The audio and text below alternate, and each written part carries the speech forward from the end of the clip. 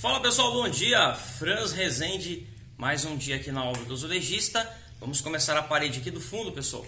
Pessoal, diferente da cozinha, que era um, um formato grande, aqui os porcelanatos 60 por 60, 59 por 59, que é esse aqui, é um tamanho razoável, né? pequeno, um, um, tamanho médio, né? vamos dizer assim. Então aqui a gente vai usar uma técnica diferente. Lembra que eu falei para vocês no vídeo anterior? A gente usa três técnicas. A primeira técnica foi a dupla colagem, que a gente fez na cozinha. A técnica que eu vou usar nos banheiros é a colagem com desempenadeira de 15 milímetros e queima, tá? Só que diferente do que a gente faz no piso, que a gente faz a queima na peça e passa a desempenadeira no chão, aqui eu vou usar uma técnica que eu, que eu aprendi com meu amigo Oliveira, Adonai Oliveira, do canal Oliveira Arte em Porcelanato. Ele passa 15 milímetros na peça e queima a parede. Logo em seguida ele encosta e faz a compactação. E a gente vai fazer a compactação dessa, dessas peças com o, a máquina de assentar piso, com o martelo vibratório. Para assentar nossos porcelanatos no banheiro social, nós estamos usando a argamassa da Quartzolite, porcelanato e piso sobre piso interno cinza.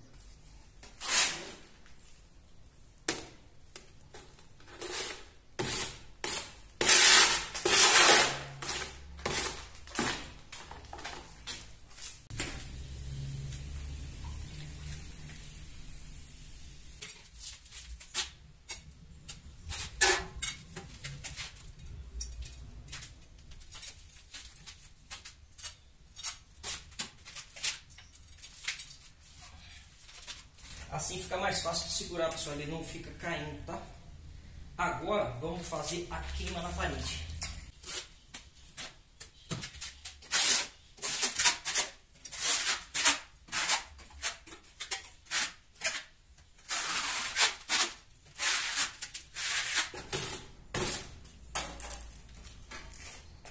Agora vamos passar a argamassa no verso da peça.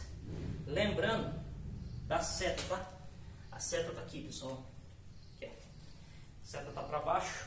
Eu vou marcar ela no fundo aqui, ó. Uma gotinha de argamassa aqui quer dizer que a seta tá para baixo, apontando para baixo,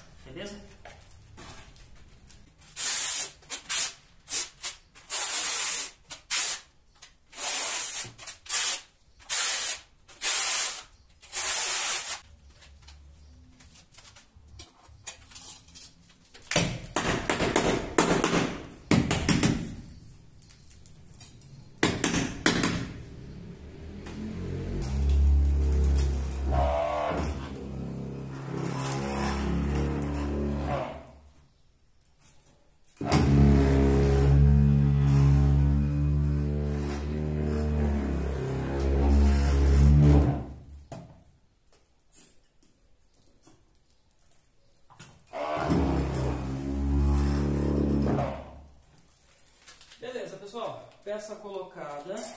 Vamos repassar o que a gente fez aqui.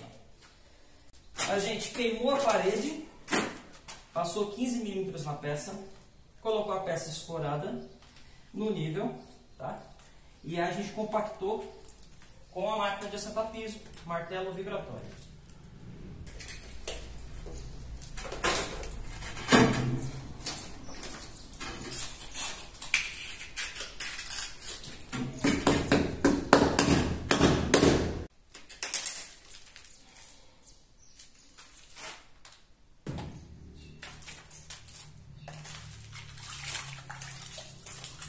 Partiu o recorte.